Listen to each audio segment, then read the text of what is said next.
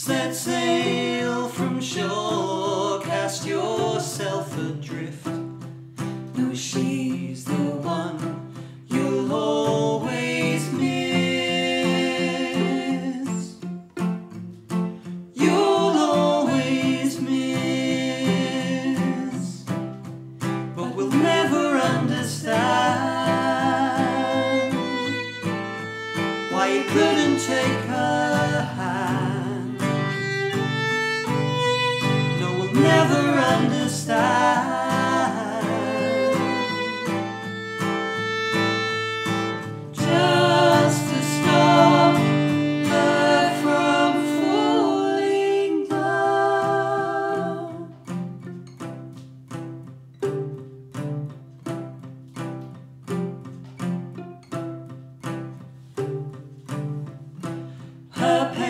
patient endeavor to wait for you still.